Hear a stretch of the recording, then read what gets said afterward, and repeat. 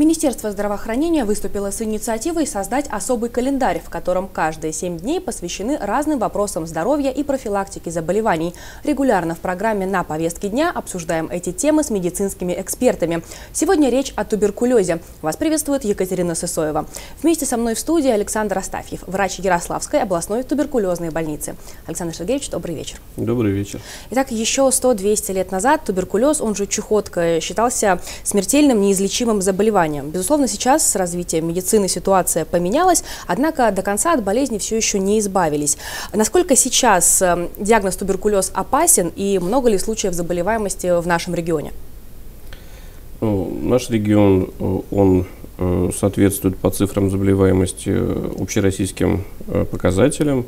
То есть э, мы такие хорошие среднячки в этом э, плане. К сожалению, данная болезнь э, пока совсем отступать не собирается. Ну вообще, действительно, насколько опасна и страшная болезнь именно сейчас? Несмотря на то, что у нас сейчас есть и препараты современные, и современные методы, в том числе хирургического лечения, болезнь остается быть опасной. Почему? Потому что, во-первых, она развивается из-под не как обычная ангина, пневмония с температурой кашля. А во-вторых, эм, сейчас очень много случаев заболевания, когда туберкулезная палочка имеет устойчивость к многим или к почти всем препаратам. Туберкулез – инфекционное заболевание, так как же он передается? Самый основной и, собственно говоря, самый страшный путь – это воздушно-капельный, потому что в данном случае поражаются э, дыхательные пути, легкие. Вот. И данная форма заболевания, легочная форма, является самой заразной для окружающих. А так, э, с некачественным молоком и, к сожалению, может быть врожденный туберкулез э, от больной туберкулезом матери, э, когда уже была поражена плацента и инфекция проникла в сам плод. А высок ли риск подхватить туберкулез? Ведь никогда не знаешь, где ты столкнешься с инфицированным человеком. Ну, совершенно верно. Э, инфицированных людей у нас э, среди взрослого контингента очень много. Самое опасное – это не просто инфицированный человек, а человек, который болеет активной формой. И в данном случае, к сожалению, есть индивидуумы, э, которые избегают лечения и посещают общественные места, транспорт, ходят по улицам. Ну и, к сожалению, есть взрослые, которые пока еще не знают о своем заболевании, потому что, как я сказал, оно развивается из-под без явных симптомов. А не секрет, чтобы обезопасить себя от туберкулеза, нужно делать скрининг. Причем у взрослых и у детей это разные методы. Почему? В чем отличие? Э, совершенно верно. Согласно официальным приказам, э, по которым работаем э, мы, фтизиатры и вся лечебная сеть, у детей с рождения, э, с первого года жизни э, до, 8, до 17 лет это кожные пробы, реакция МАНТУ до 7 лет, диаскин-тест с 7 до, 8, до 17 лет. Э, и у подростков еще подключается второй метод исследования, как флюорография. У взрослых только флюорография. Это все обозначено приказами официальными. И, во-вторых, у взрослых мы стараемся убить двух зайцев. То есть это не только ранняя диагностика туберкулеза, это еще ранняя диагностика рака, э, саркоидоза. А насколько часто нужно проходить обследование? Я считаю, что независимо от того, какая заболеваемость в данном регионе, лучше не искушать судьбу. Все-таки раз в год стоит проходить взрослому человеку флюорографию. Тем более, что это делается бесплатно, э, в соответствии с государственными гарантиями которые обеспечивают бесплатное прохождение флюорографии ежегодно.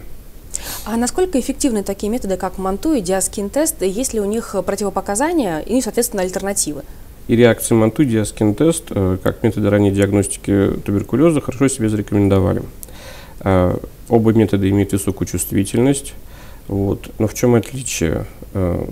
Э, реакция МАНТУ у нас почему до 7 лет делается? Дело в том, что если ребенок не успевает э, прихватить туберкулезную палочку, то э, благодаря реакции МАНТУ у нас есть еще дополнительный скрининг на отбор детей э, на повторную вакцинацию в 6-7 лет. Диаскинтест, в отличие от реакции МАНТУ, он э, выявляет уже активную форму туберкулеза на ранних стадиях. А как мы уже сказали в начале программы, туберкулез вышел из разряда неизлечимых заболеваний. А как же с ним борются и сколько времени занимает лечение современными препаратами? это ми- минимум 6 месяцев лечения. Вот. Э, но это больше касается детей, потому что мы детей благодаря реакциям антудиаскин тесту все-таки выявляем на самых ранних стадиях, и поэтому здесь достаточно быстро наступает излечение, без всяких последствий. Что же касается взрослого населения, то здесь, конечно, в среднем это 9-12 месяцев, потому что взрослые болеют уже взрослыми формами. Нередко видим осложненную форму туберкулеза, то есть когда имеется распад легочной ткани, когда, не дай бог, еще есть устойчивость палочки к, к многим туберкулезным препаратам. В данном случае чисто таблетки не помогают. Э, то есть приходится консультироваться с хирургами и производится операция. Бывает так, что приходится и в Центральный научный институт обращаться за помощью. Мы в любом случае должны добиться, что хирургическим путем, что обычным таблетированным путем, э, полного излечения туберкулеза у ребенка или взрослого. А человека с активной формой туберкулеза могут заставить принудительно лечиться? Э, конечно. Собственно говоря, у нас эта практика на ходу активно наши врачи э, обращаются в суд с заявлением э, на таких э, несознательных граждан, которые знают прекрасно, что у них имеется социально опасное заболевание, ну, в первую очередь для них опасное и для окружающих, и избегают лечения. Вот. Такая практика у нас существует, в общем, достаточно эффективная практика. И по решению суда данный гражданин э, принудительно э, госпитализируется в лечебное учреждение.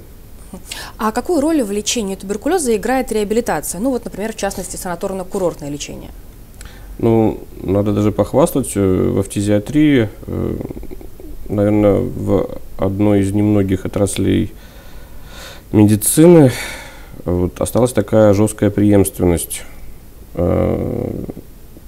поликлиника, стационар, санаторий. Это равнозначно и для детей, и для взрослых.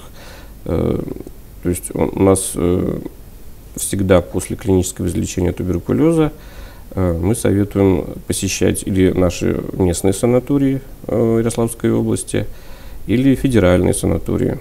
Это может быть и юг нашей страны, и вот в Башкирии у нас есть, на Кавказе прекрасные санатории. Эм, это ведь все не зря возникло. То есть санатории, грубо говоря, в лечении туберкулеза возникли гораздо раньше, чем сами больницы туберкулезные. То есть это все хорошо или как профилактика, или как уже по факту излечения от туберкулеза. А вот к слову о профилактике. Давайте в заключение поговорим о, об этих мерах. Какие правила нужно соблюдать, чтобы и вовсе не столкнуться с туберкулезом? Ну, как любое инфекционное заболевание, э, всегда предполагаются две формы профилактики. С одной стороны, это не специфическая профилактика, избегать стрессов, вести хороший образ жизни, отсутствие вредных привычек, режим дня и самое главное правильная, правильная качественная пища. Специфическая профилактика. То есть э, у нас есть календарь, утвержденный Министерством здравоохранения, календарь прививок, что для взрослых, что для детей. Э, собственно говоря, э, любое инфекционное заболевание, более-менее серьезное, у нас профилактируется путем введения вакцины. Э, это же касается и туберкулеза. То есть на третий день жизни в родильном доме ребеночка вакцинируют в плечико э, вакцины БЦЖ М, облегченная форма. А если ребеночек к 6-7 годам не успевает заразиться туберкулезной палочкой, то он идет на ревакцинацию. Спасибо, Александр Сергеевич. А на мои вопросы отвечал Александр Астафьев, врач Ярославской областной туберкулезной больницы. Это была программа «На повестке дня». Смотрите нас с понедельника по четверг в 19.20 на городском телеканале. Запись также доступна на сайте gtk.tv и в нашем официальном паблике во Вконтакте. В студии работала Екатерина Сысоева. Всего доброго и до встречи в эфире.